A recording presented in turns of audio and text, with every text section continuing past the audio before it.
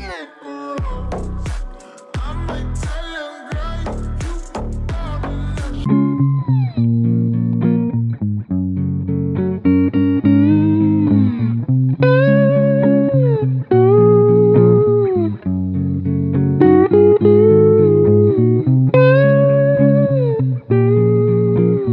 Turn all of the water in this ocean into glass? I've coded it so that every time you follow, every time you like, and every time you share, you turn one water source block in this ocean into a glass block.